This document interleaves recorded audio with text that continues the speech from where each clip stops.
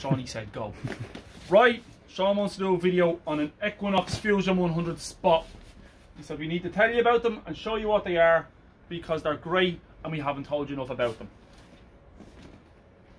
Fusion 100 Spot.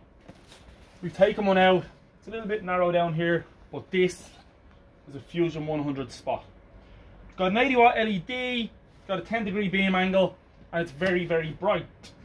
It has a three facet prism in there, and I'm going to check the rest of the details from the box.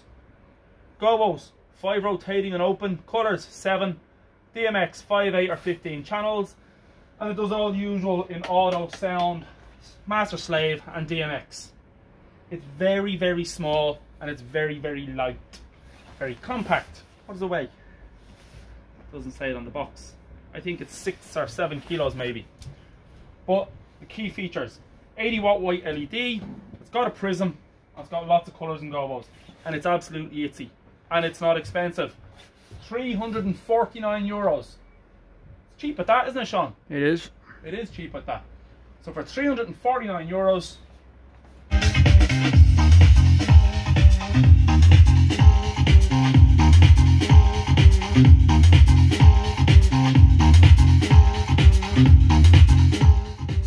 So that one's on sound to light.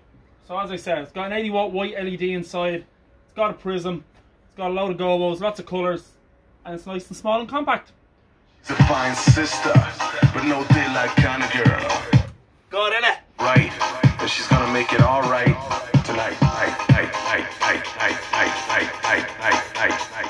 Equinox Fusion 100 Spot Mark II.